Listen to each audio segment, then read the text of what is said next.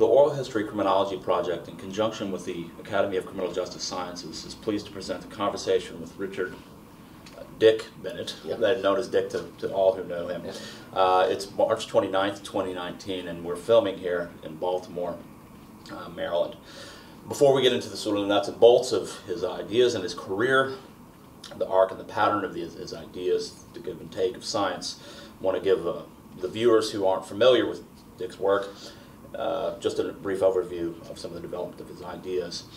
Uh, in terms of his education, he earned a BA in 1968 from Randolph-Macon College in sociology, continuing on to Florida State University, earning a, uh, an MA in 1970 uh, from their famed criminology and criminal justice program, before pursuing a, a doctoral degree from Washington State University in sociology and criminal justice in 1976. While there, he also earned an NIMH fellowship in deviance uh, as well.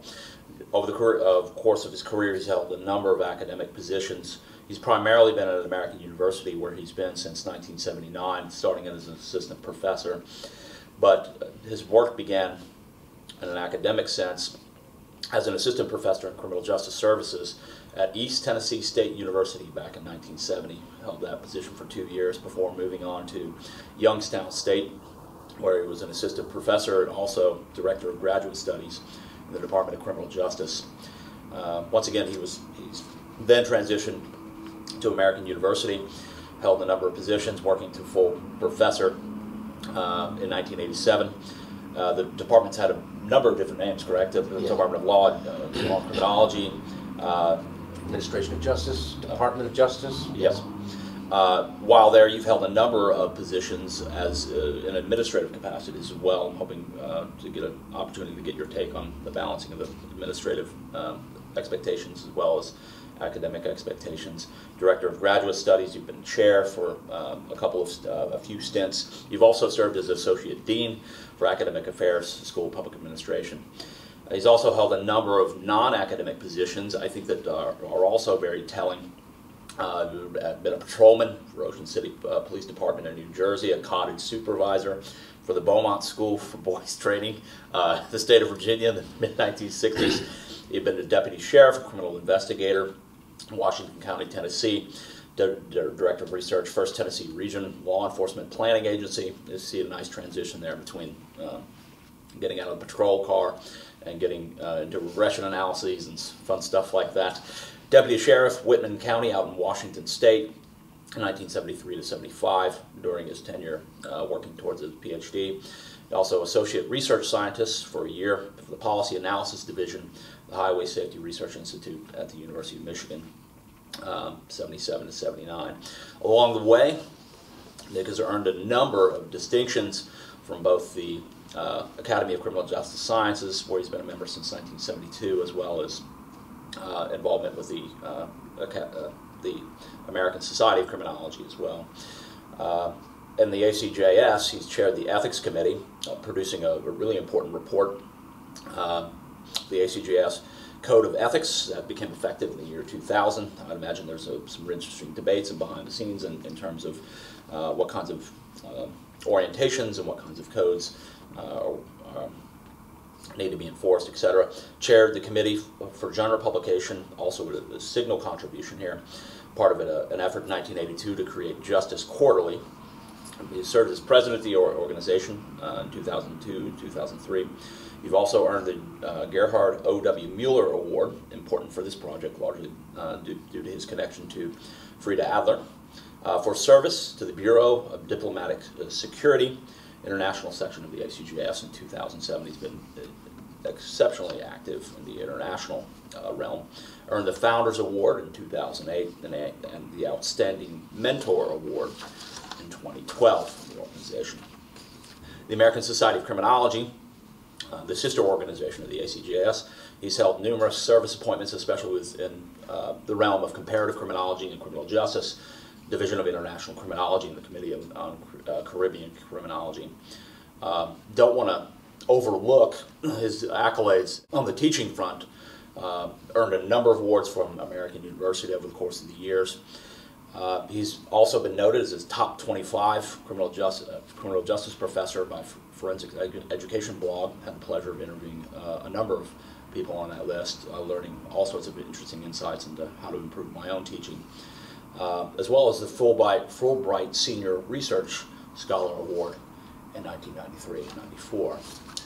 So, before you begin that long, long journey here uh, through international quarters, as well as uh, the realm of policing and a number of other domains within that larger, uh, under that larger umbrella, uh, you were just sort of Dick Bennett. Yeah. Uh, can you give us a little bit of uh, a biography of life before you got into an academic enterprise? Brendan, I'd be happy to. Perfect. I was born uh, in 1944 here in Baltimore.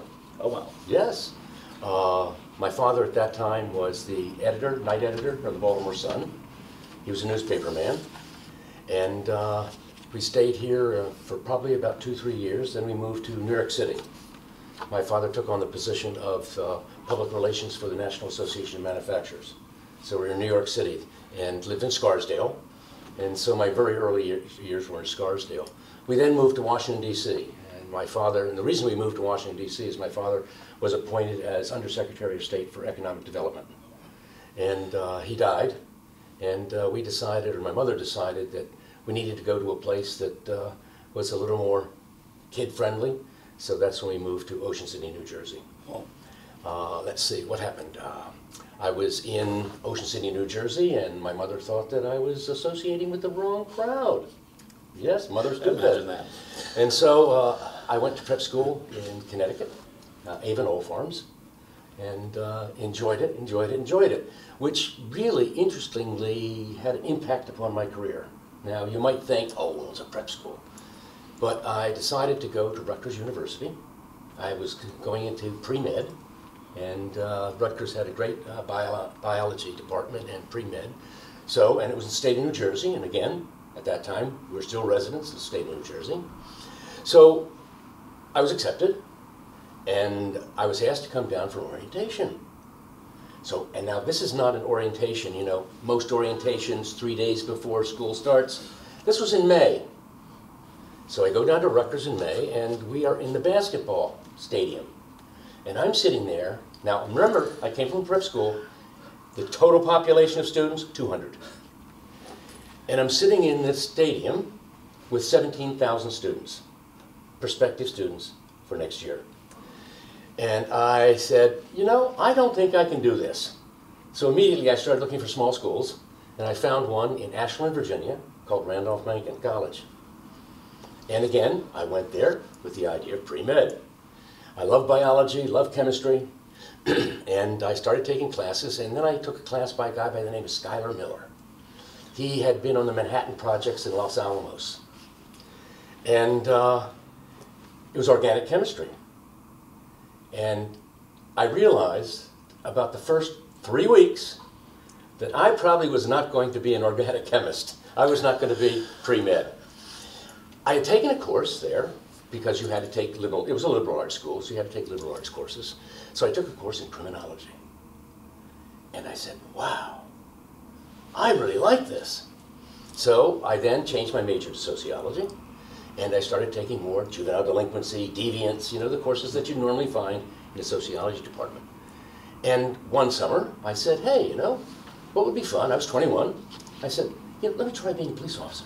Oh, And uh, I called up the chief in Ocean City, New Jersey, summer resort. This is down on the coast, just just south of Atlantic City, New Jersey, uh, but much quieter, much different population than Atlantic City.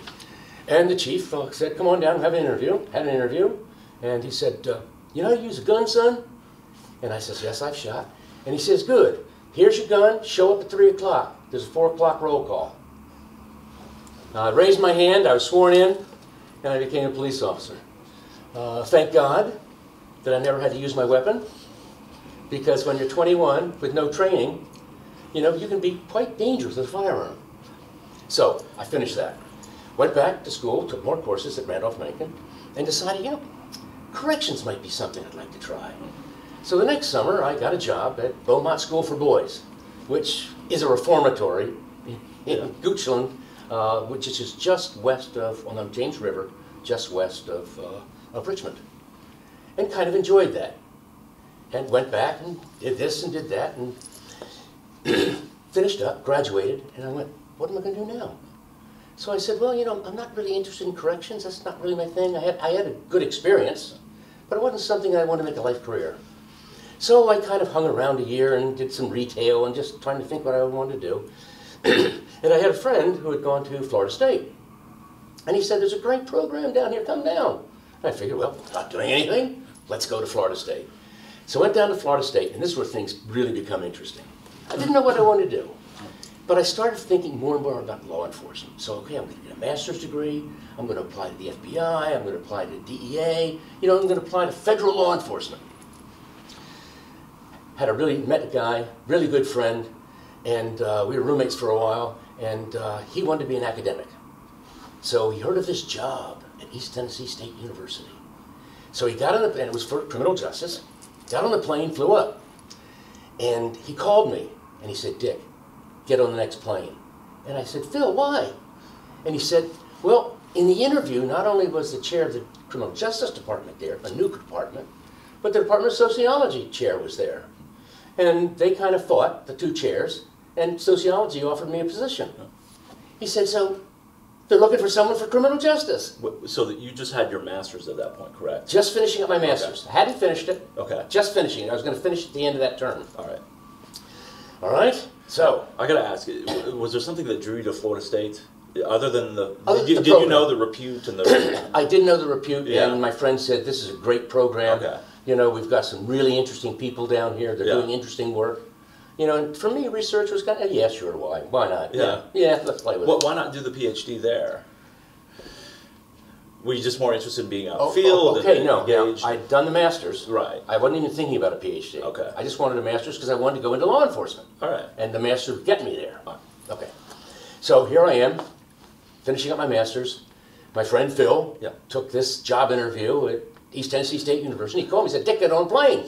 They're looking for you, and I talked you up. And the chair is really interested in interviewing you. So I get on a plane, go up, I have my interview, and the chair says, I'm going to offer you a job.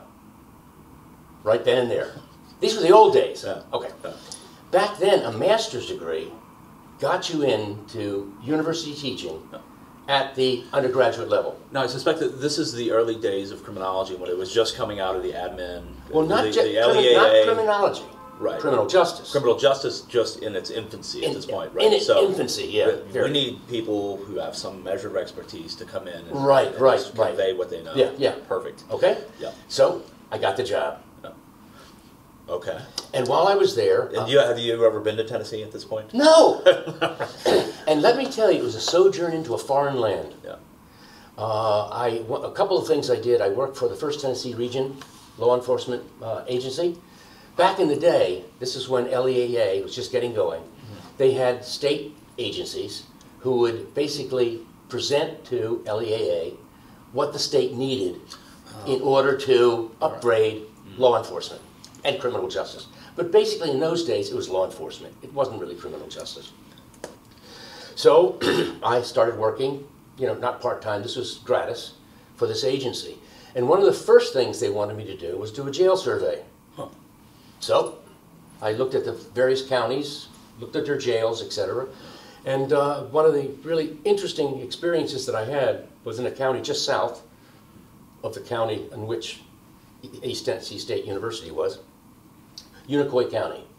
So I go down to Unicoi County, I see the Unicoi County Jail. Oh my God.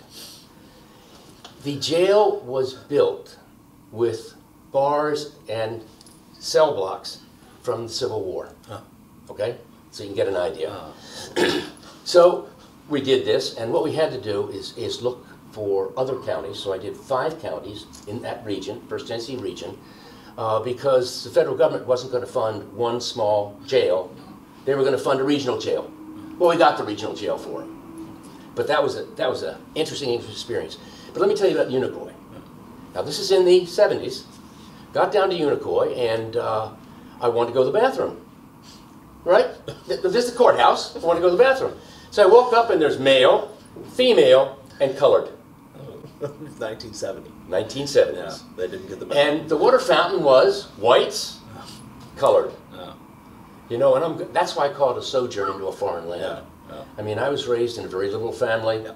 you know, things like that, and I just said, wow, can I believe this? Wow. So, yes. So we got the report in, got the, got the regional jail. The only way that we sold the regional jail to the state, the region, federal government was willing to do it, was that we put in, ready for this, a rec room. No, no, no, no, not for the prisoners. Oh, No, no, for the staff. for the deputy sheriffs. Oh. Because remember, it's regional. Yeah. You had to drive your people there, and by having you know a place where they could relax, play pool, that sold it.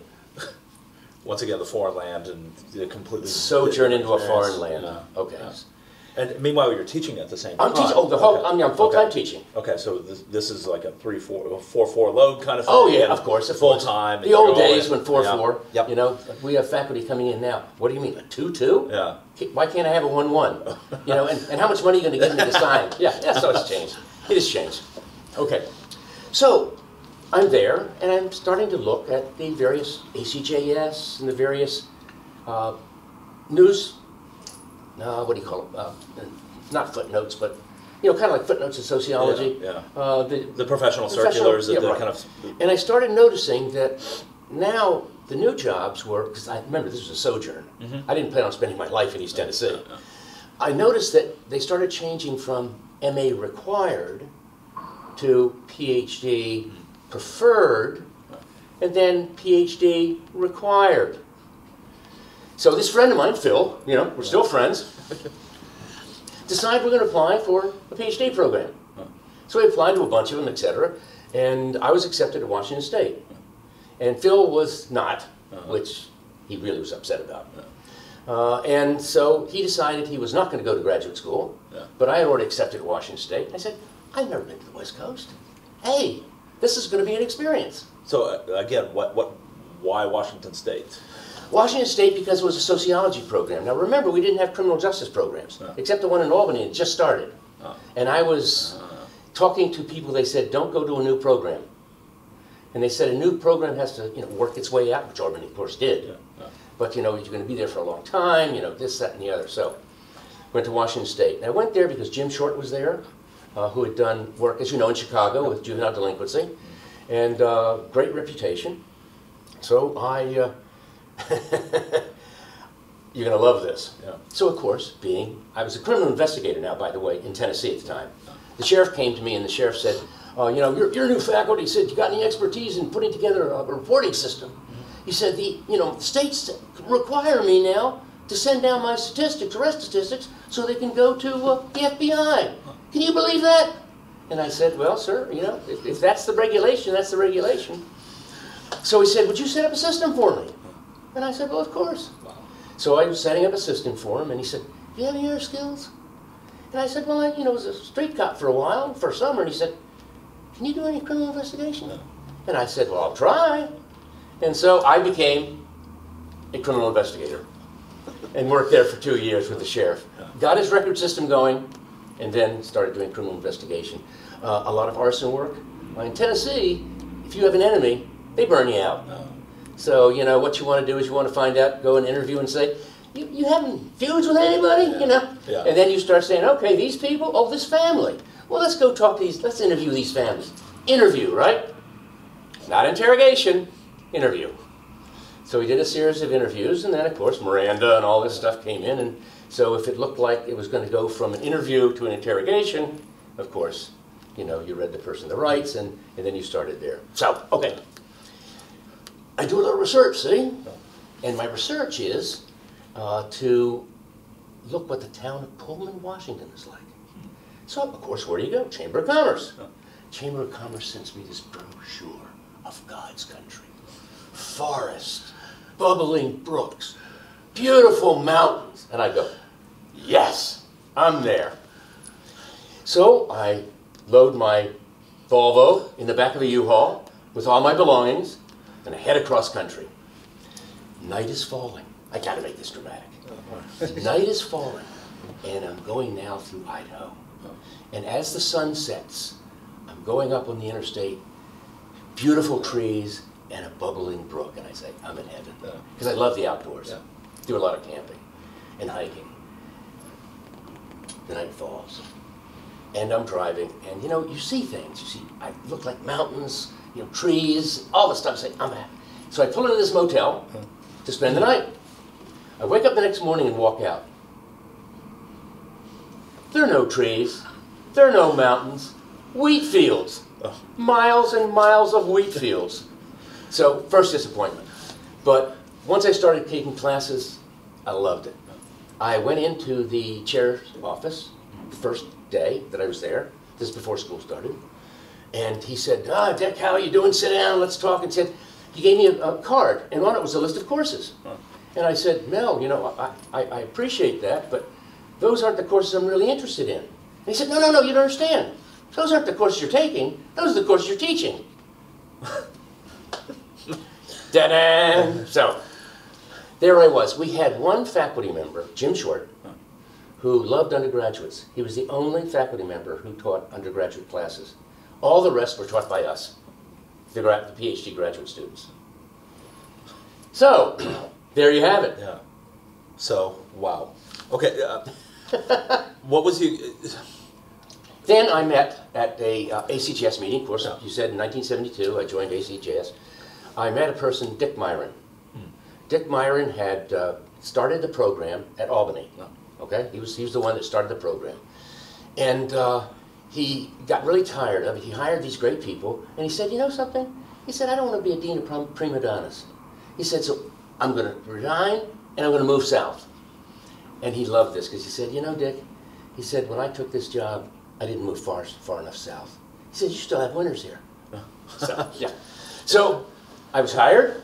I was hired at the same time that Jim Short, uh, not Jim Short, excuse me, uh, Jim Fyfe was hired.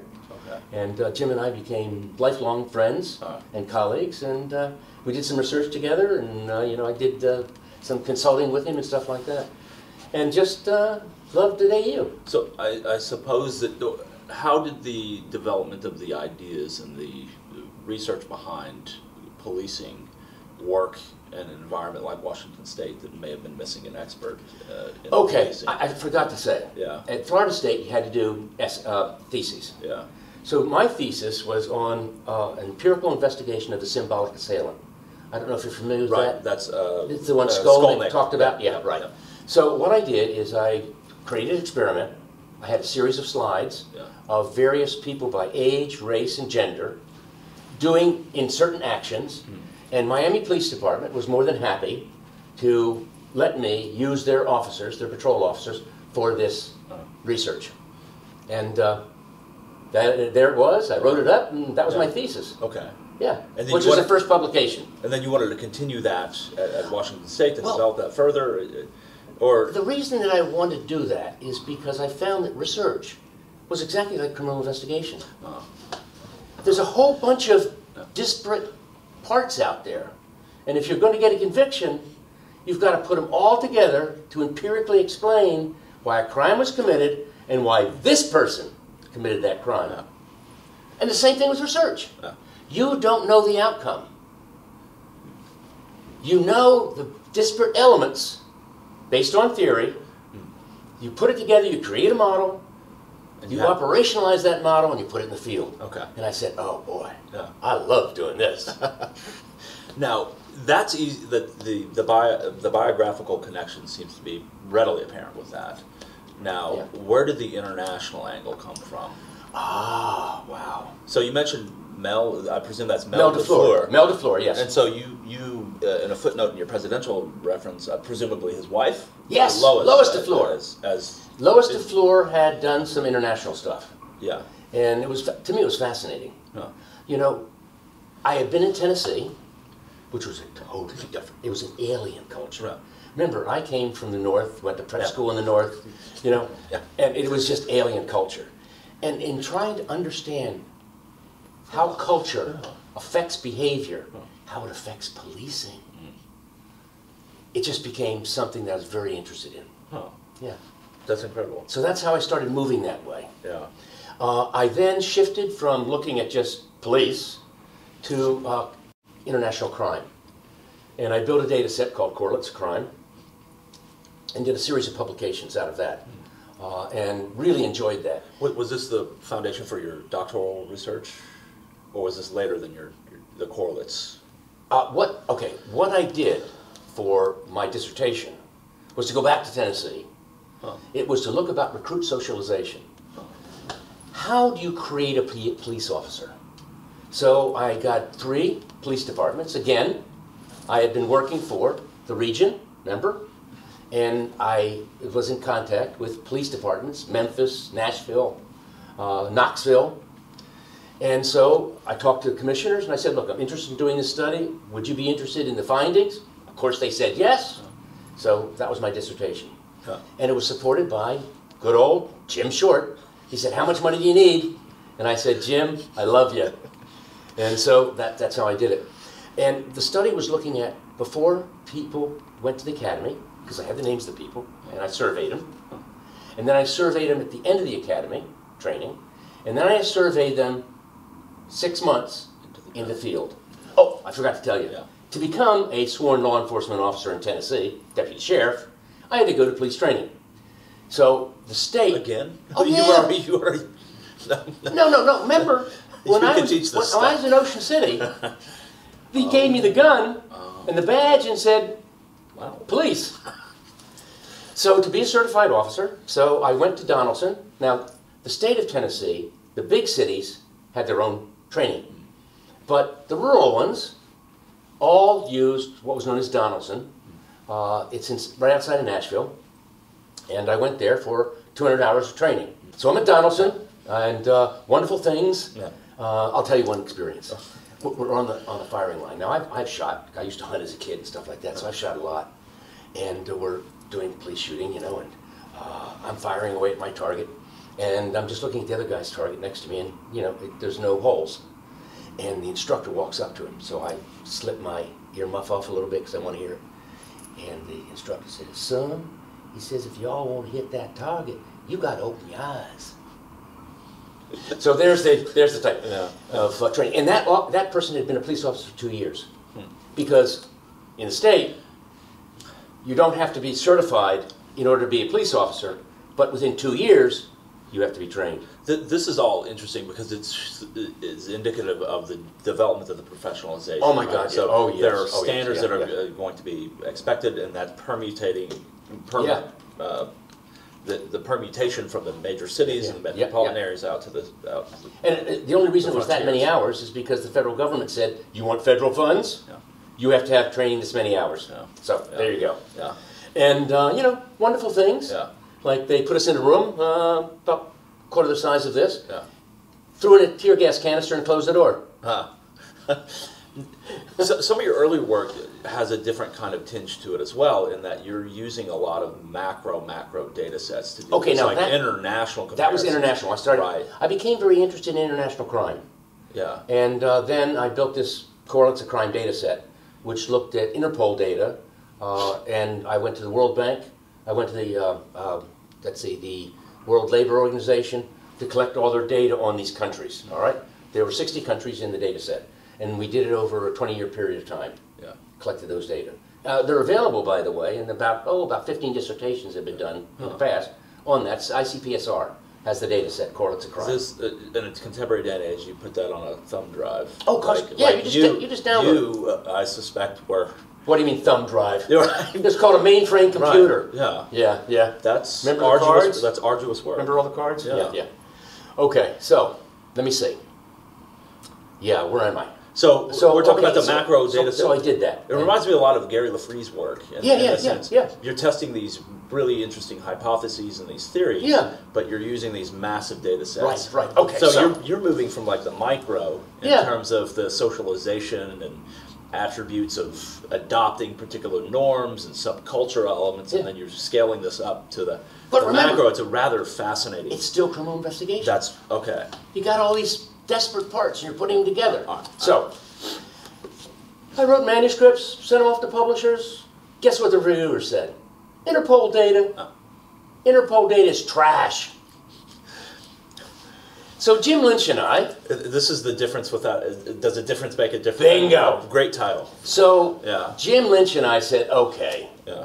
let's do an article comparing data sets using different methodologies. Okay? And we called it Does a Difference Make a Difference? And criminology picked it up. Bingo! Guess what? All these manuscripts that I had in the past were now being published. Oh, that's interesting. Yeah.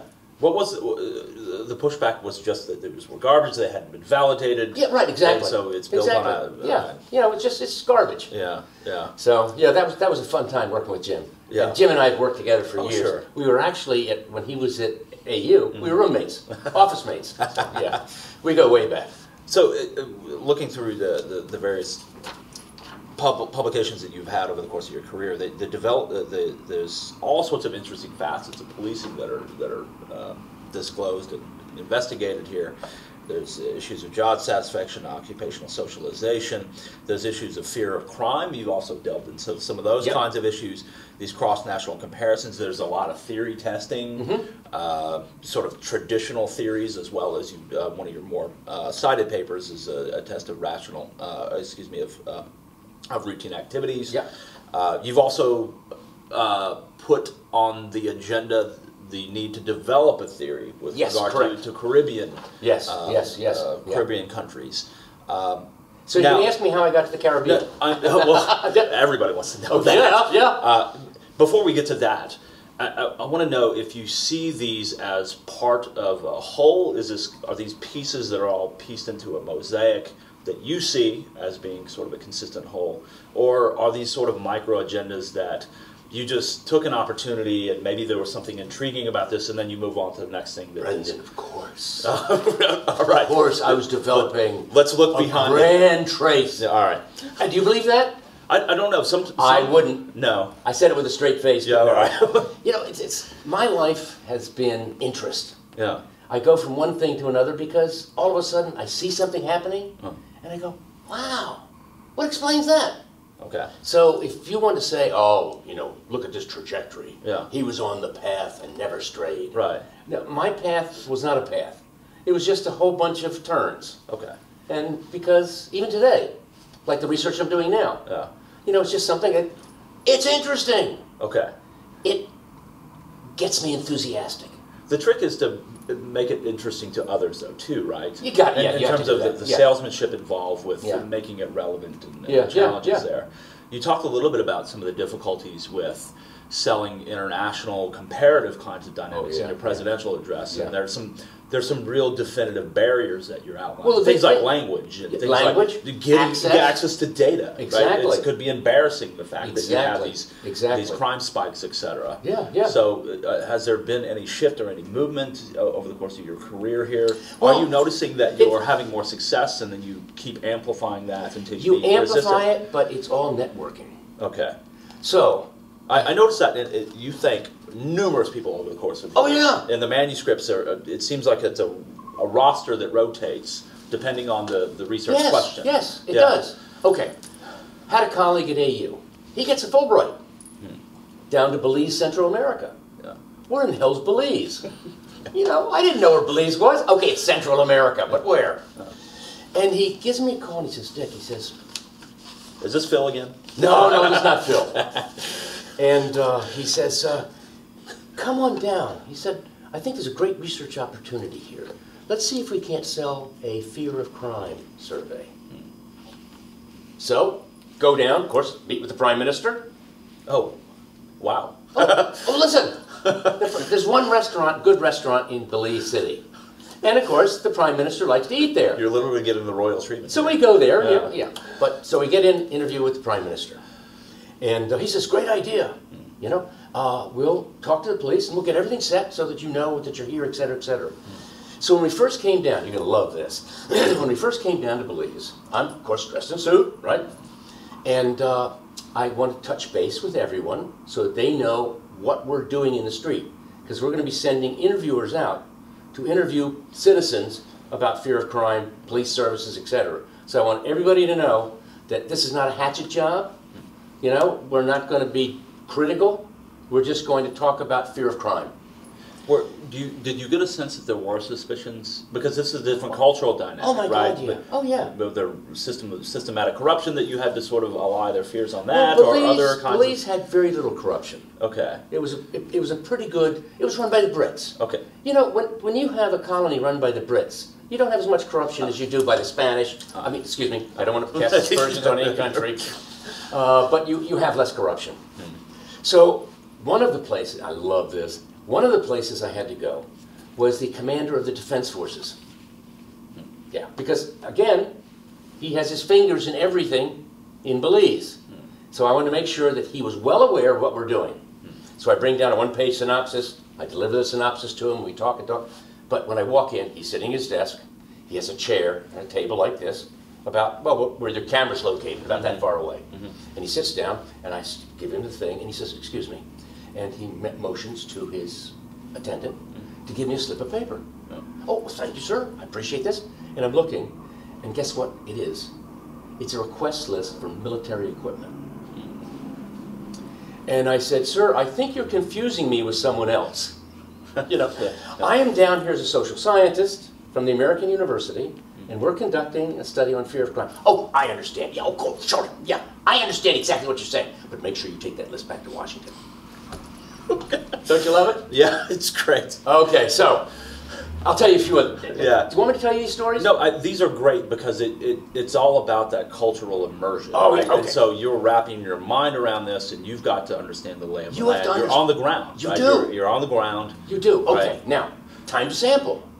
Yeah. Okay. So now, how do we do it in the United States? We do it by housing units. Hmm. Great. Yeah. So I go to the, you know, the division of Health and Human Services Housing, and I ask for their records. Of course, they know that you know we're here. The Prime Minister said, "Research team, American University's here. Give them anything they want." So they pull out this dusty, dusty ledger. You know, one of these things about this big. And I look at it, and the last entry is 1963. And I'm going, this is the 90s. I said, I don't think this is going to work. You know, tax records. This isn't going to work. So we think, oh boy, what else? Well, water Oh. and sewer. Oh. So we're walking now to the, you know, water department, and we're in the morning, and I see all these women coming out with buckets, dumping them in the little canals, and there's feces in it. So I'm going, okay, I don't think we have a sewer system here. And we could walking further, and all the women with buckets are at the city well getting water. And I'm going, okay, that's not going to work. Back so to so we, didn't, we didn't even go to the place. Oh. We turned around, came back. At nighttime, you'd walk around, and you know, they don't have screens, they don't have shutters, and all these eerie lights would be coming from every one of the shacks. Televisions.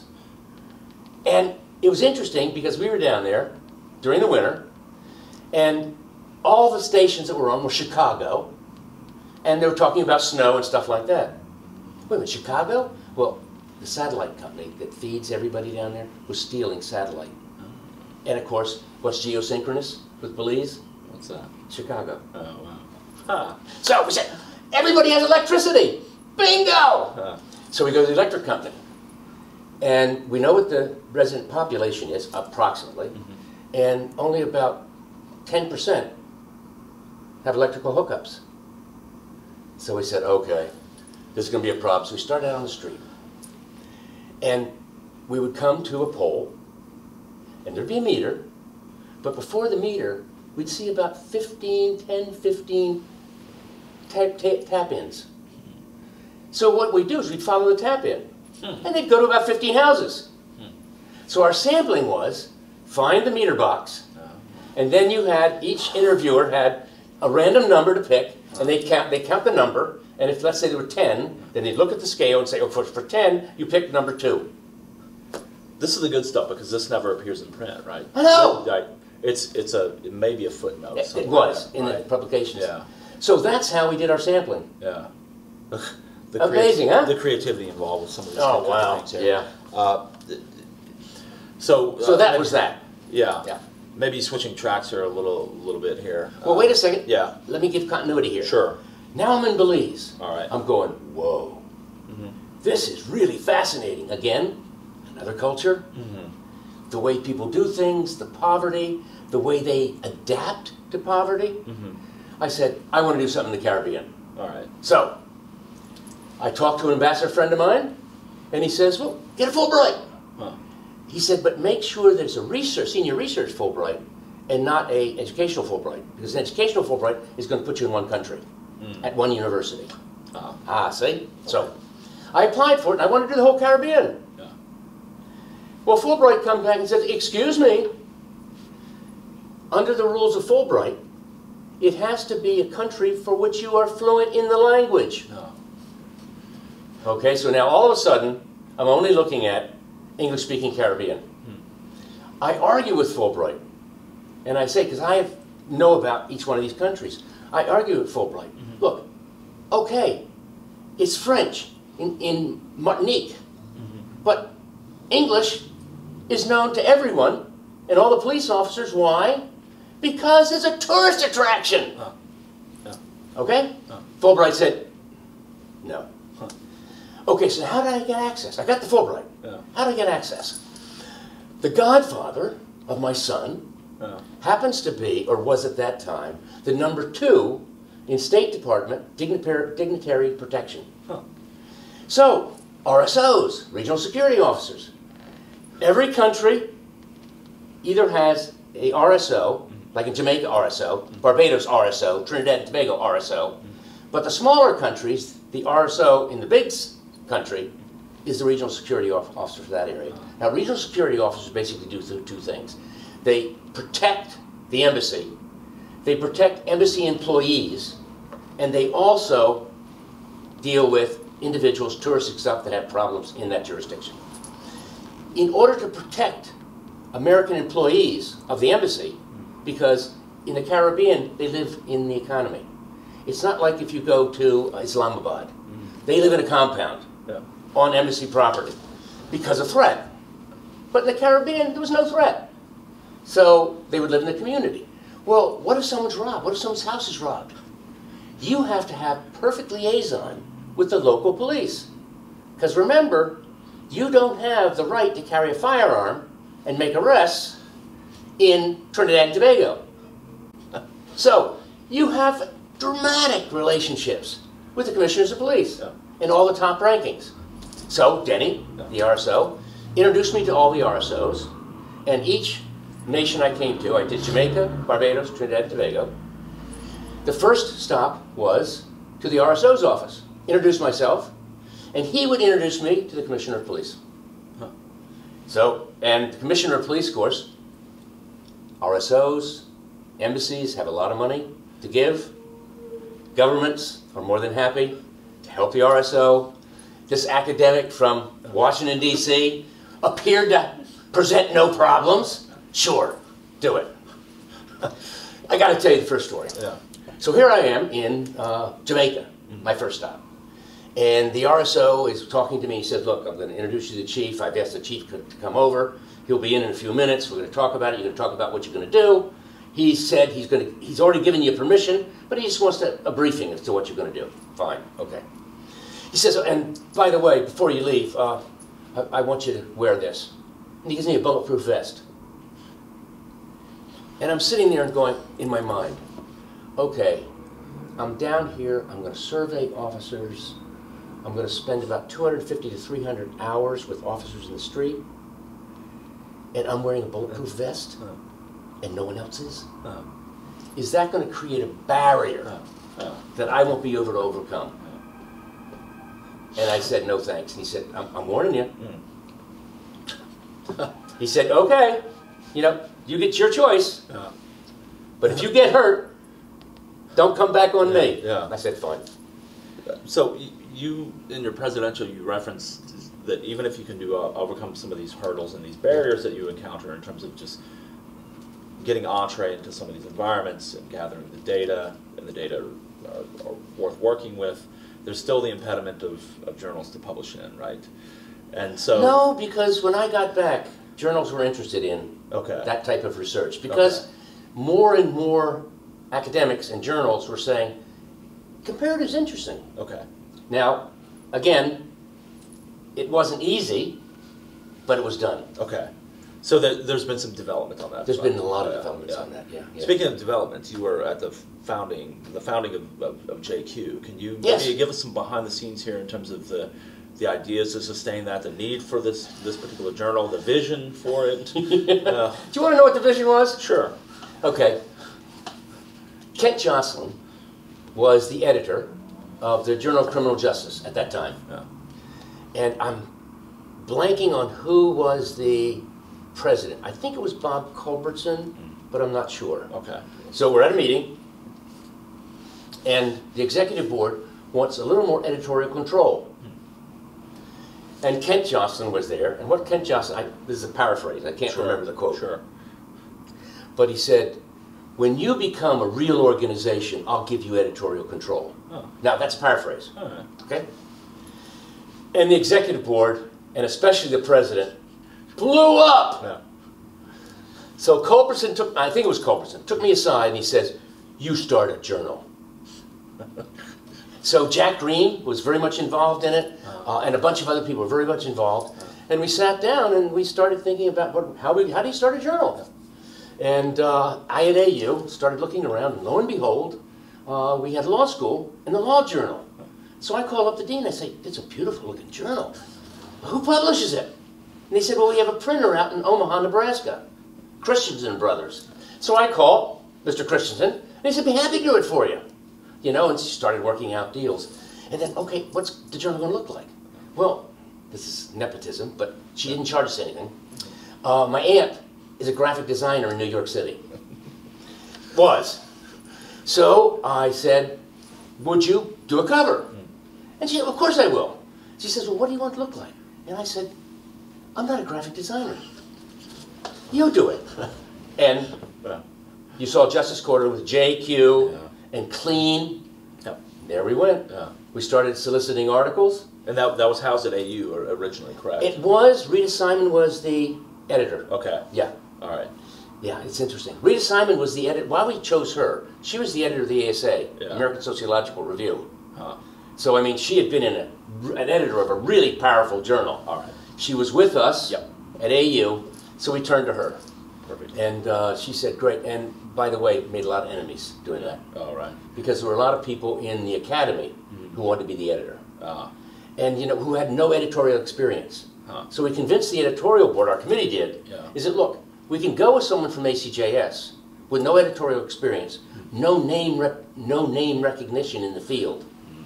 Or we can go with Rita Simon, who knows everybody in the field, at least in sociology and now criminal justice, and has edited a top tier journal. Yeah. And the board, reluctantly, but they did, Yeah. they went with uh, Rita Simon. Huh. Now, you. So also within the ACJS, you've you've been instrumental in uh, developing that conversation about the code of ethics. So the, the the reason, the rationale, the, the the impetus for it, the the ultimate the statement that ultimately emerged, uh, has it been accepted, uh, widely embraced? It has now, it's condition Yeah. of membership. Okay. That's why it had to go before an amendment to, to our Constitution. Yeah. That's why it took so long. Okay. Because of the process, you have to give everybody a year's advance notice, et cetera, et cetera. Yeah. Okay. Uh, I had had experience, not my personal experience, Mm-hmm. but experience from my graduate students of being sexually harassed, right. inappropriately treated, Mm-hmm. Uh, were working on projects, never got co-editorship, Uh, you know, a whole variety of things. All right. And uh, I said, and a couple others got together and said, so, you know, we got to do something. All right. You know, we have to have ethical standards. So I, uh, committee got together, we started developing it, and I called my friend who was then the uh, head of ethics committee. Who, who's some of the names that are involved in this Uh, I- I conversation? forget right now. I Uh, forget four, four or five folks Yeah, come together. But the person who ran ethics yeah. at AS, ASA, Mm-hmm. American Sociological Association, and I said, you know, can we use yours as a model? Mm. He said, well, hell yeah. you know, take it, do it. So if you'll notice in the bottom, under the Code of Ethics. Yeah. it says thank you for, Ah. you know, permission was granted. Yeah. Now we modified it to Sure. fit our thing. Yeah. Okay. The executive board said, no, we don't want one. Think of all the work it's going to be. Hmm. So again, I got back with my friend. Because it's more administration that they have to, Oh, they have to know, monitor and they have to accept, monitor, have accept complaints we have and to have- vet them. and- Yeah, we have to vet them. We have to have hearings. You know, right. ah, don't want to do it. All right, Uh, later, I found out, no, no name mentioned. sure. Uh, later on, I found out that one of the people who really objected to it had uh, had a relationship with his student. Oh, well, there's a conflict. of No conflict there. There Okay. we go. So, we again called my friend at ASA, Yeah. Oh. and he said, Dick, he says, it's really rare. He said, last year I had one, one complaint we had to deal with. Huh. He says, very rare. Oh, Very rare in the field. Hmm. So, now that was back then. oh, sure. Okay. Yeah, So, brought that to the executive board, presented it with them, argued for it, my committee argued for it, and the executive board said, okay, Huh. we okay it. Now, Yeah. but because one of the conditions you have in it is that you can be terminated for your membership. That's the highest sanction, Mhm. it has to go for a constitutional amendment to the Constitution. Ah. That took a year, and then a year, so it took a long time from when we first presented yeah, until it actually came into existence. Okay. I was also the chair, under Jim Short, of the ASC Ethics Committee. ah, okay, And we went through the same hassle okay. with the executive board, but the executive board said no. Ah, And it wasn't too much later. They actually got the, uh, what they had done in the interim. Yeah. They said, if you're interested in ethics, see the ethics Yeah. code of ACJS. Ah. And now, of course, as you know, ASC has its own. ah, all right. Yeah. Okay. Uh, Could you talk to us a little bit about the development of your administrative career?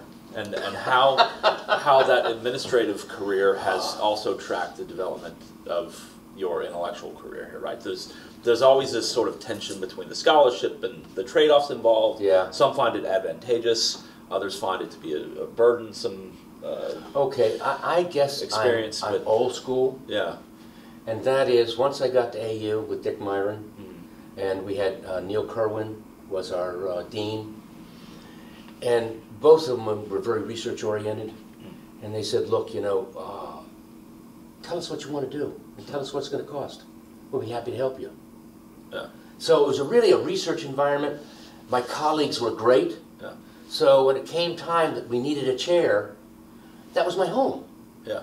You know, I spent a lot of time there, a lot of time with these people. It was my home. Okay. So what are you going to do? So you see this as a, a duty? It was a duty and obligation. All right.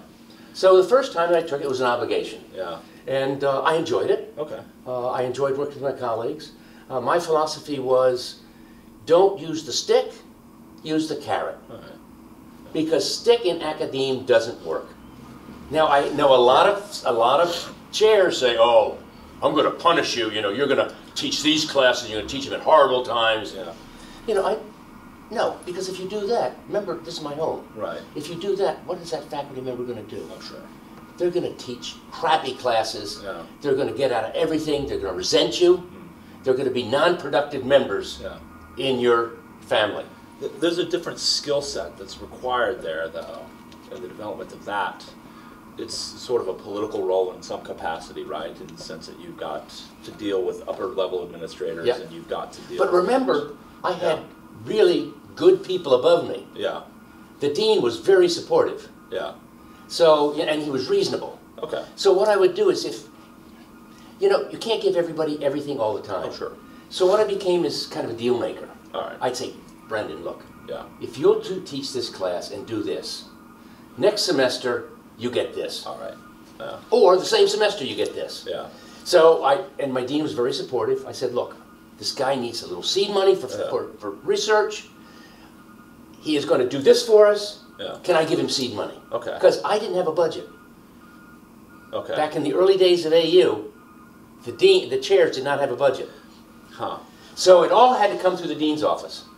So I say, you know, look, this person wants to go to ASC and ACJS. It's going to be way over what our policy is in terms of reimbursement. She is willing to do this for us, to create this new class that is going to track with where we think the discipline's going. Yeah. Will you give her the funding to go to these two conferences? Uh, and the dean said, sounds good to me. Yeah. I kind of wonder if your if your background in policing put you in a, in a good spot with at least kind of helping you acclimate yourself to an environment in which power dynamics play a role, as well as opening doors when you're doing research. Yeah, the yeah, fact that yeah. you can say that I, I'm a police officer myself here, so you, you don't need to be suspicious of me because I'm yeah. I'm part of the tribe, right? Yeah, yeah. Yeah. So That, that, that always yeah, helps. It yeah. always helps. So there's some carryover, I guess, in, in that capacity. Oh, yeah, for sure. Okay. Definitely, Yeah, definitely carryover. yeah. Uh, And again, the idea is that uh, you have tenure faculty, and carrots and carrots work, big sticks don't. yeah. Yeah. And, and you know, it's, it's like being a good police officer. To me, the best police officer is one that uses their mouth, not their club. Oh. Uh, You know, you get in, you defuse. okay. you listen, Yeah. you explain what you're doing, and you find that people go, okay, Huh. All right. you know, they do. All right. You know, and you know, I really don't want to arrest you on this, Yeah. but you know, this behavior is in violation of the code and the law. Yeah. Let's talk about it. Yeah. Okay. Uh, Can you call a friend to take you home? yeah. You're not driving that car. All right. Can you call a friend? All right. Listen, I'll tell you what. If you don't have a friend that's available, I'll get you a taxi to Yeah. take you home. All right. Yeah. Defused. Okay. Yeah. Yeah. And so it's the same thing when you're an administrator. Absolutely, right? You know, yeah. People get hot-headed and Yeah, they get hot headed. First thing you want to do, calm them down. Yeah. Tell them you're listening to me. I hear what Alright. you're saying. I understand what you're saying. Yeah, This is the restraints that I have. But given that, sure. I'm going to see what I can do. All right. Uh, let's switch tracks and talk about your teaching. Your Oh, appro- love your- the teaching. Your approach to teaching.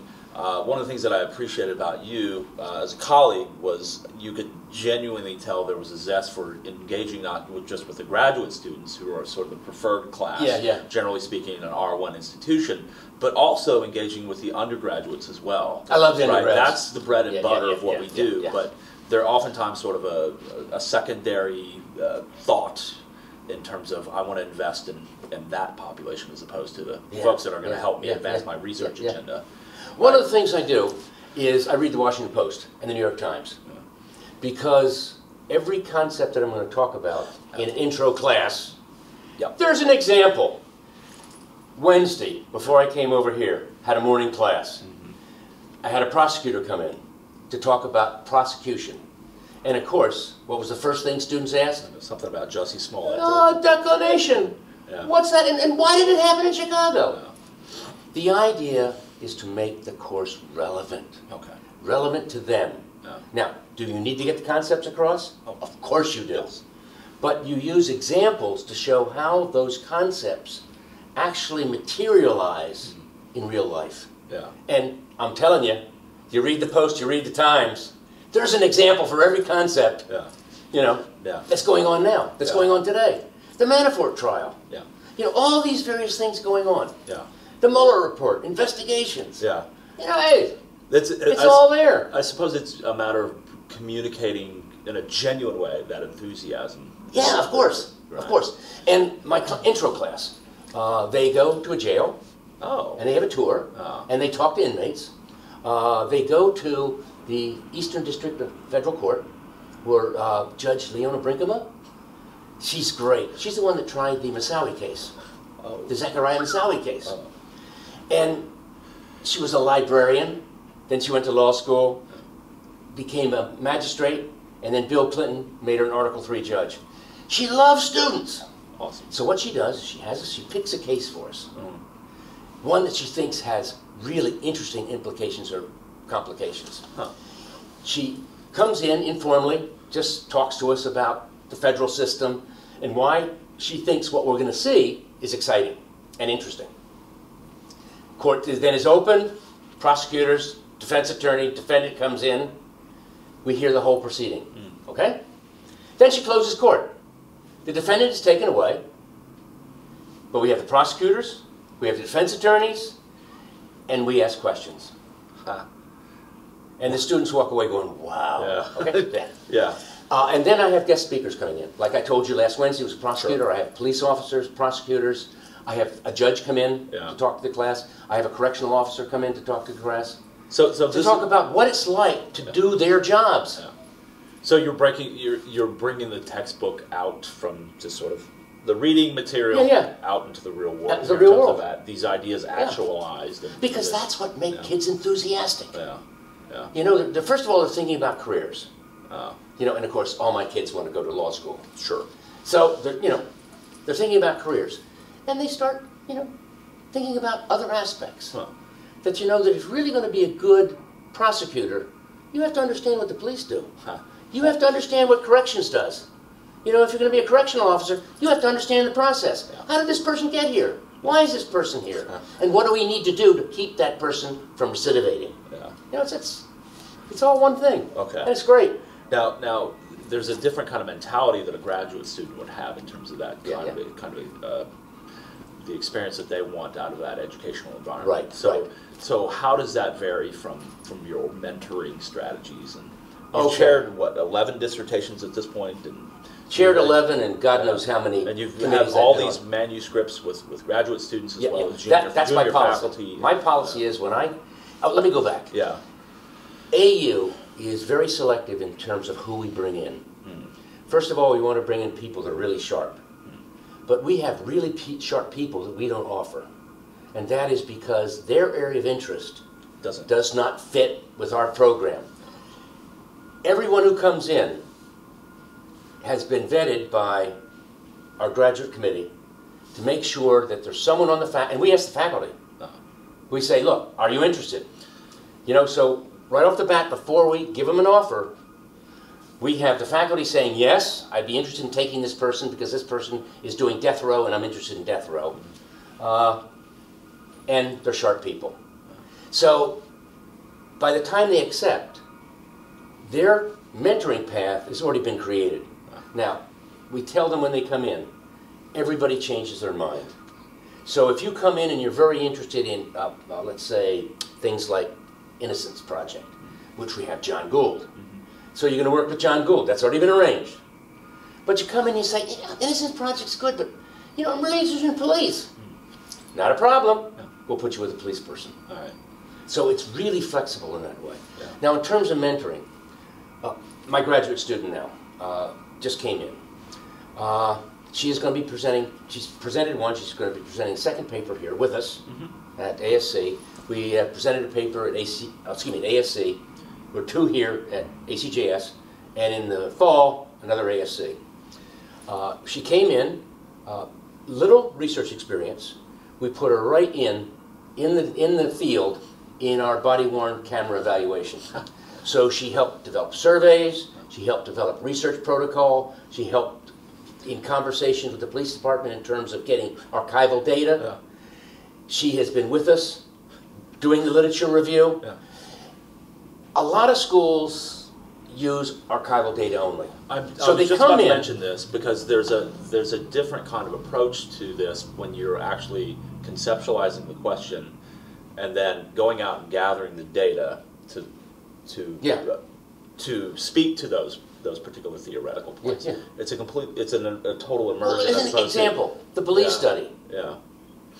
You know, if, if the graduate student didn't realize that we couldn't use proper sampling and that access and this and that were problematic, they don't understand the quality of the data. That's a great point.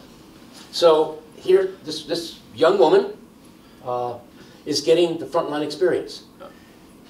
The woman before her, and now she's uh, third year, I brought her in on my retirement project, international retirement project. Development of the survey, contact with the foreign dignitaries, you know, interaction with the commissioners of police, Yeah. you know, all the ins and outs of how we did this. Just the brokering of the data. Just seeing how that happens. Yeah, yeah, right. That's How do you that's get access? informative. How do you get access? Yeah. Now, I- I'll, I'll tell you, ah, well, I know I shouldn't tell you. Yeah, but I th- that's invaluable. Those are intangibles. Yes. it's not simply just calling someone up and saying, "I've got this NIH grant for two hundred thousand Right, right, dollars, so could you give me the data?" Right. Exactly. Right, so- here's, here's the data. Yeah, it doesn't You know? work like that. You know, how was the data collected? Yeah. What errors could have been? What biases could have been introduced in the data? Yeah. You, you don't know that. Yeah. So my feeling is you get them, and the way you mentor them is you start out with a basic project and go through it. Okay. Uh, and I've published with every one of my PhD students except one, Oh wow. and that's because That's an impressive record. she left. No, that's Yeah. mentoring. Yeah, that is. Yeah. You know, when Yeah. I went to my first teaching job after the PhD, I had two publications. Yeah. Wow! Yeah. So is it is, Today, you don't get you don't get a, a telephone interview Yeah. if you don't have publications. What was your own experience being mentored Oh, at Florida great. State and? Well, I and told you, Jim State? Jim Short. Okay. You know, he's just a great guy. Yeah. We'd sit down. He says, "I like your project. You know, let's work on it a little more. How much money do you need?" Okay. Well, I'll need airfare. I'll need pu- publication. I need printing and da da da da da da da. Hotels, food. Much- tell me how much you need. Yeah. And, and he'd go say, "So what are you finding? Yeah. What's your access like? Yeah. You know, what what, you, what things are you finding?" Uh, Here, one of the things he loved was remember six months after I surveyed them, and I surveyed their field training officer Oh. Because in Tennessee, your first six months is with the field training officer. Uh-huh. So, I give this survey and I start running the data. Jim Short said, "What are you finding?" And I said, "It's like Wake Lake Wobegon." He said, "What do you mean?" He said, "All the kids are above average." Yeah. You know that? Yes, Okay. I do. Yeah. So I, I go back and talk to one of my confidants in the uh, Knoxville Police Department. And I said, what's going on here? Everybody's average. He says, Dick, come on, get a life. he says, if I don't rate them average or above, I have to write anything below average. Oh. I have to write a dossier because what is that? That's leading towards their termination. He says, come on, Dick, grow up. You know, everybody's above average. Yeah. Yeah. Uh, so, when you look at all the various domains of your, your professional profile here, right, the, the mentoring, the teaching, as well as the administration, and all the, the projects and the papers that you put out, and the uh, professional reports, and the uh, the international speaking series of various sorts that you've engaged in, uh, an active roster of uh, international appearances. Uh, what do you what do you look back on as uh, the thing that you think uh, is that gives you the most pride? Wow. What what's what provides the most satisfaction Oh, for you? now they're different. Yeah. Okay, satisfaction. Satisfaction is going into foreign nations, Yeah. meeting people, spending time, learning cultures. Uh, that's the satisfaction. Yeah. When I worked for State Department, I put on anti-terrorism training, and I did it for 41 nations, and I was on on boots on ground in 41 nations. Ah, Now, wow. yeah. and talking to people, seeing what their situations were, what their needs were. In other words, if we're going to put training together, what are their needs? Th- this That's satisfaction. yeah yeah Now, accomplishment? Did we do anything Yeah. in those 41 countries? Maybe. What we did do, which the State Department would never admit, I guess it shouldn't be on tape, but that these training programs, mm-hmm. although they were for training, were also to create a relationship oh with the top officers in the criminal justice system and in the, not in the military. Uh-huh. Remember, Yeah. you can't do that. Mm-hmm. Uh, in the criminal justice system, so a State Department employee could get on the phone and call the Commissioner of Police All and talk directly. okay You remember the great time we had in Washington? Uh-huh. Remember that Chinese restaurant we took you to? That was the first time you had Chinese food. yeah okay Let's talk. yeah okay forty one countries. Yeah. I, uh, anybody who stepped into his office, I got to mention that's all the police caps. Oh, yeah. Those are from the countries that I've the years. worked with over the years. Absolutely. Yeah. Yeah. Incredible. Um, so, uh, So that's the greatest satisfaction. right. I guess my greatest achievements have been mentoring and helping develop the next generation of researchers. Okay. You know, my time is just about over. Yeah. But these young kids that are coming out, Yeah. they are going to shape criminal justice. Ha. And they're going to be the reformers and the researchers in the future. So if you want to say my accomplishment, Yeah. that's what it is. Okay. It's helping the next generation take over from the old folks like myself. Yeah. But on the international tangent, uh, have you seen some developments in, in a more more openness to the idea of us communicating information to other countries, which we're really great at, but also receiving information back? Is there a growing dialectic on that front, or is it still? You know, I wish there were. In academia, there is. Has your work had some impact in terms of at least moving the needle? You've developed some of the administrative apparatus Yeah, yeah. within both of the major organizations here Yeah. that, that could prove to be a legacy of, of some kind. Hopefully so. Yeah, You know, we're becoming more and more global, Yeah. and that's not going to stop. yeah, the Pandora is out of the box hmm. and we're not getting her back in. Yeah. So we need to have more tools and more understanding about how we do comparative, international, and transnational research. Hmm. It's just imperative. If we're, if we're, if our criminal justice system and our system is going to survive, we have to adapt Yeah. because the world's changing and we can't, you know, close our doors and say, we're not going to do anything. Yeah. We've Yeah. got to adapt. We've got to change. Yeah. And we have to understand what the change is, why we're doing it, and what's the benefit or the dangerousness. Okay. Uh, uh, on that tangent, I, I'm wondering if there's any advice that you have to future generations that uh, might prove useful in terms of the development of their ideas and their own careers. Be enthusiastic. Okay. Dive into it. Yeah. You know? Yeah. Love what you do. and and you'll you'll be productive. Yeah.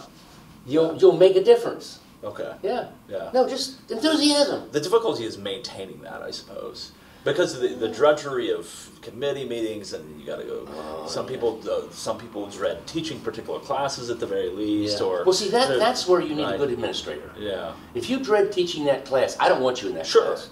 Because Yeah. what it means is that student is not getting their money's worth. Yeah. So tell me where you want to be. Yeah. If I if you don't want to do it, I'll find an adjunct Perfect. who really wants to do it. Yeah. What do you want to do? Yeah. Now, I'm in a private school. mm-hmm. So I come to you, Brendan. Brendan, what do you want to do? Yeah. Well, I'd like to teach cybersecurity. Okay, we don't have a class in that. Mention it in one of your classes and see if you can get 15 undergraduates or 10 graduate students. All right. And the class is yours. Next semester, you're teaching it. Perfect. Now, what do I do? Yeah. I say, okay, you were teaching something you hated. Yeah. You, you weren't putting yourself into it, so the students weren't getting their money's worth. Yeah. I find an adjunct. We're in Washington, D.C. Yeah. I find an adjunct who's just dying to get into a classroom. so it's a win-win. Yeah. You get what you want, the students get what they want. In addition to having the, the baseline of enthusiasm, do you, are there, is there a skill set maybe that, that Oh my you God, think yeah, you- yeah. one would need as well? Yeah. Or The skill set would- is really critical analytical thinking. okay, I'm finding today that the students that we're getting in the PhD program uh, uh, do not know how to model. uh, You know, they Uh. don't they don't come from theory. yeah, You know, they, they come from, oh, this is an interesting question. Let's survey the people and see what the answer is. Well, yeah, what, what questions are you going to ask them? What concepts are you, are, are, you, are you trying to test? yeah, Start from this, get from theory, and then go down to the empirical. I'm wondering how much that has to do with you were trained in the sociology department. Yes, correct. Right? Yes, so correct. you were you were going to be a, you were going to have it, or you weren't going to be in the sociology program. Exactly. And criminal justice, I, I wonder if you see it as being just simply taking that as it needs it, uh, sort of ad hoc and not. I, I see a lot of that going on. Our program, we try to integrate the idea that good research is driven by theory. Okay? Okay. Now, if you want to do theory development, you know, ground up, Yeah. grounded theory, Yeah. that's great too. Mhm. But there's a whole different technique to that. Yeah, yeah, If you're going to do the quantitative stuff, empirical stuff, Mm-hmm. get that theory, figure out what concepts are in, the, in that theory, and that's what you measure. That's what you test. You don't just go out and say, oh, I have a hypothesis. Right. But you, I guess you're you have to confront this because you're doing primary data, data gathering. Yes, correct. A lot of your work. Yeah. Right? You're jumping. You nearly jumped out of your office with excitement when I stopped in earlier this week. Yeah, with yeah. Some of the work you're doing in Fairfax. Yeah, right? yeah. And you're talking about having to go back into the field and maybe soliciting some more feedback from Yes. those you, that you actually Yeah. got survey data from. Yeah, right, It's right, a right. different kind of Yeah. kind of uh, uh, Giving context. correct. The survey data came out, and I went, something's wrong with this. Yeah, You know, why does this group yeah. decrease in acceptance? That's exciting. You know, questions leading to more questions. yes, exactly. But that's what research is. Perfect. So- Yeah. and it's yeah. sometimes messy too, which is which It- is it's sometimes always messy. Sometimes it's difficult to wrap one's mind around that as an undergrad. Well, as an example, even as a graduate student. this is with this the research we're going to be presenting Saturday. yeah. This was with citizens. Mm-hmm. We contacted citizens who had recent contact with Fairfax Police. Mm-hmm. We knew whether they were contacted by a body worn or by a bo- non-body worn officer. Mm-hmm. Okay? Because they're separated. The way in which Fairfax sends their officers out in the street, a body worn is never with a non-body worn Uh, because of the way the, Right. the uh, schedule is. So we knew whether they were going to whether they were contacted by a body worn or not, and we tried to see if there was difference. Absolutely no difference. Yeah, So, okay, what explains levels of satisfaction? yeah, What drove the model was procedurally just treatment. Hmm. And I mean, it just didn't drive the model, it drove the model. Okay, what about collinearity?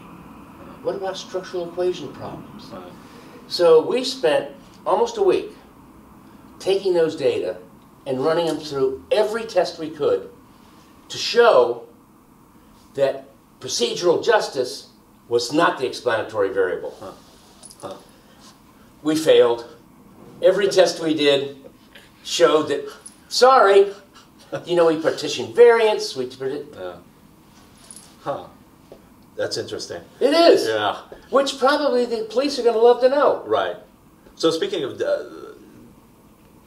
insights But that that's may enthusiasm. right? Yeah. Speaking of ideas that may have maybe fallen flat or, or in some pushback, have, have, have some of your ideas been more difficult sells, or has there been pushback on some of the ideas that you've you've, you've crafted over the course of your career, of skepticism or Oh, yeah, or, or of course. yeah, And, and you have to overcome that. yeah, I mean, every time I go into a police agency, except Fairfax, yeah.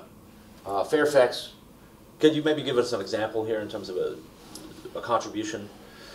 Maybe on the international scene, some of your international Probably the work biggest one was work? the retirement project. Yeah, Uh, now, the reason I chose the nations I did, it was obviously self-selection, Uh-huh. is because I, in the 41 countries I visited, yeah, I built up relationships with the top administration. Uh, it was easy there, getting in, but then you had to convince the officers, the people you were going to observe, the people that you were going to survey, that it was legitimate. okay. And of course, the first thing the administration says, this is something we really need. so now your sales job Yeah. is to get out there and convince them that there's a benefit in here for them. Um, Now, in the Netherlands, it was an easy sell. Hmm. I had two or three police commissioners I knew very well, uh, and they said, Dick, they said, look, you know, we're going from 26 districts, reorganizing to one national police. Just, we can't do it. I mean, we got so many problems going on now that we just can't help you. And one, one of them said, you know, Dick, why don't you co- contact the police union? He said, You don't think they're going to participate? Their benefits might be cut, their retirement might change, all these things. They're going to be redundant yeah, because now instead of 26 commissioners, Yeah. you have one. Uh, he said, Here's my friend in the union, contact him. okay, So I contacted him, he said, Great, let's do it. yeah, yeah.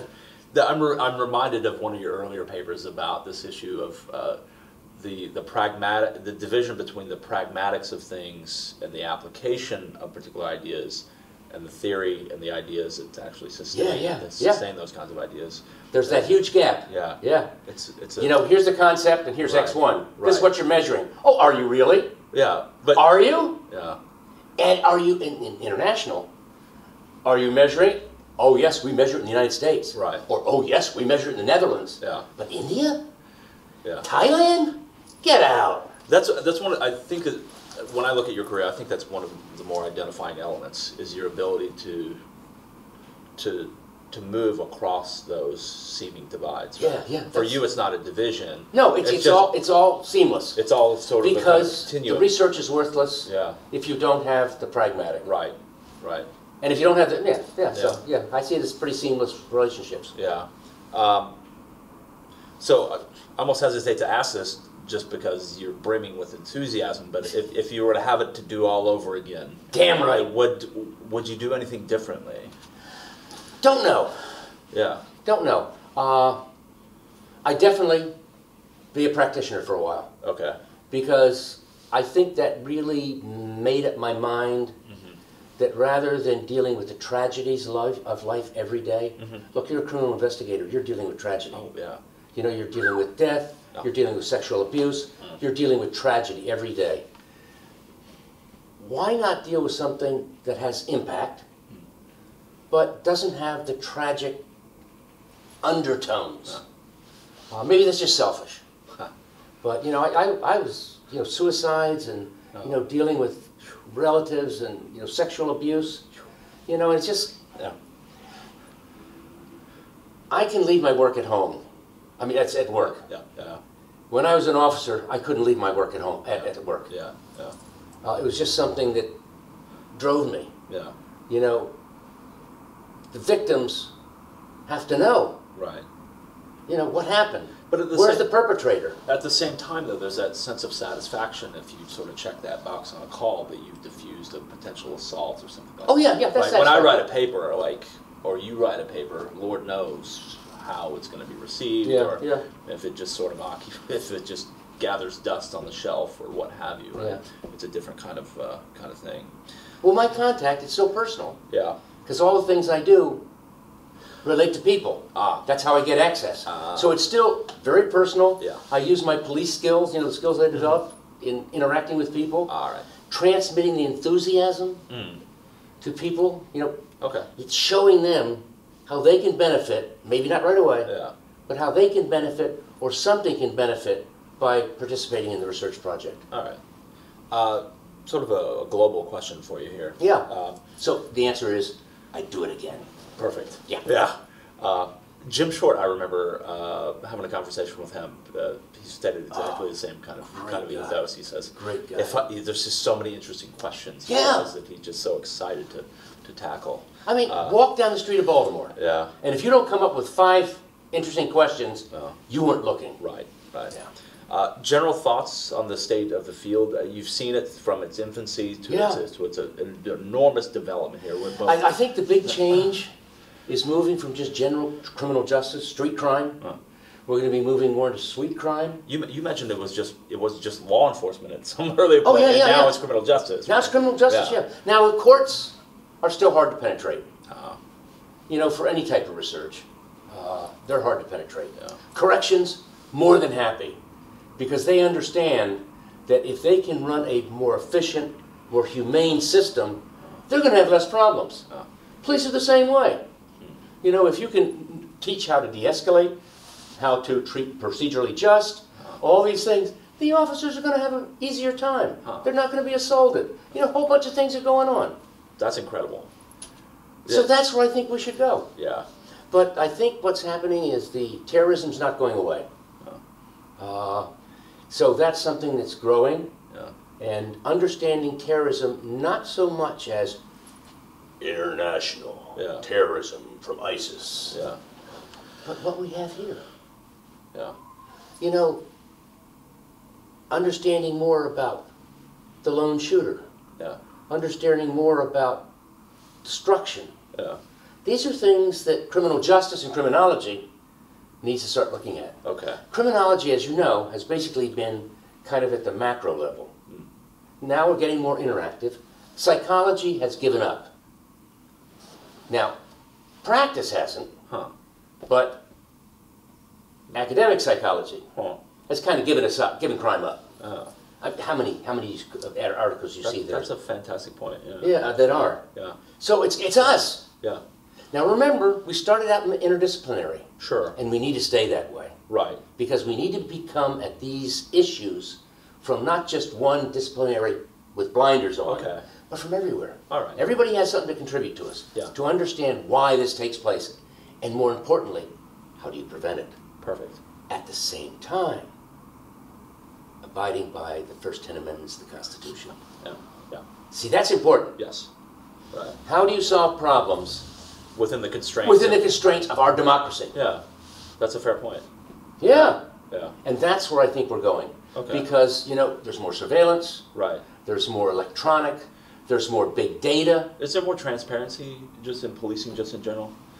Do you think? In the big departments, yeah, they're getting Okay. more and more transparent because they realize they have to be. Okay. You know, that's the only way they're going to get cooperation from the citizens. All right.